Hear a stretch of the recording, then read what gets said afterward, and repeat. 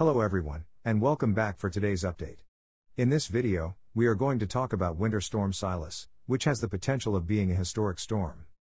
Let's begin by timing out this system. Snowfall and rain will be moving onshore on Monday morning across portions of the northwestern coast. This rain and snow will slowly be working its way eastward through the morning hours of Monday. Snowfall will be moving into Idaho by the afternoon, with snow across other western states. This storm will continue east by the evening into the overnight hours, with snowfall reaching into Wyoming and Montana. And then, by Tuesday morning, widespread snowfall will develop across eastern Montana, with snow beginning to fall across North Dakota. This area of snow will continue to slowly move eastward across this area even by Tuesday night. By Wednesday morning, snow will be falling across the Dakotas and Minnesota. By this point, this storm will be stalling out across this area, continuing to drop heavy snowfall. By Thursday morning, the snow will start breaking up, becoming more scattered. This storm will finally move out of the country by Friday. Here is the Winter Storm Severity Index. Very little to no impacts can be expected from wintry weather across that light gray color. Minor impacts can be expected across the yellow color, mainly across roadways. Things become a little bit more dangerous in the moderate area, where driving conditions can start to deteriorate. Major impacts are possible across the red, due to very heavy snow and windy conditions.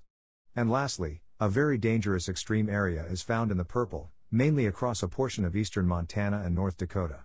This area will likely be receiving the heaviest snow, along with very strong wind, making for extreme blizzard conditions. It's important to avoid roads if you live in this area, because whiteout conditions can completely block your view of everything around you. And here are the current National Weather Service watches and warnings. Widespread winter weather advisories can be found in the purple color, covering counties in Minnesota, Nevada, California, Idaho, and more. Very widespread fire weather warnings can be found in that bright pink color, from southern Arizona all the way to South Dakota, and down through western Texas. High wind warnings are found in that gold color, covering counties across multiple western states. Blizzard warnings are in effect for the western half of North Dakota, northwest South Dakota, and far eastern Montana due to the combination of very heavy snow and strong wind. Winter storm warnings are found in that lighter pink color, also covering certain areas across multiple western states. And lastly, winter storm watches remain in effect for northern South Dakota, eastern North Dakota, and northwest Minnesota.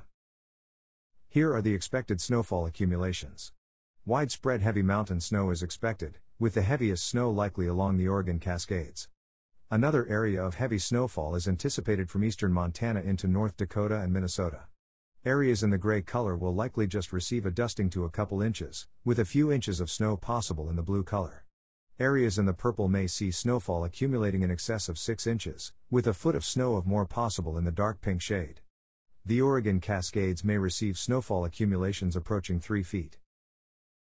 The next major threat that this storm will bring is severe weather. Here is the outlook for Tuesday, April 12. A marginal risk extends from the Gulf Coast all the way to northern Wisconsin. A slight risk also stretches from the Gulf Coast to southwest Wisconsin and southern Minnesota. A dangerous enhanced risk of severe weather is found in the orange color, from northern Texas to the Iowa and Minnesota border. The threats include a 10% chance of significant tornadoes, a 15% chance of large hail, and a 30% of significant damaging winds. The next day of severe weather will be Wednesday, April 13th. By this point, the risk will be very expansive, with a marginal risk stretching from the Gulf Coast to the Michigan Panhandle, with a slight risk also from the Gulf Coast to central Wisconsin. A concerning enhanced risk is in place from northern Louisiana into western Indiana. The threats will likely include significant damaging winds, multiple tornadoes, and a few occurrences of large hail. And now for the last threat I wanted to review in today's video the flood threat. The first day of potential flooding from this storm will be on Tuesday, April 12. A marginal risk of flooding stretches from northeast Kansas into northern Wisconsin.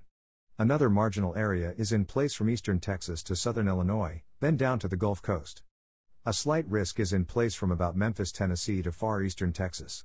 The flood threat will continue into Wednesday, with a marginal risk stretching all the way from coastal Louisiana to the Canadian border. A slight risk is in place from the Gulf Coast to central Indiana.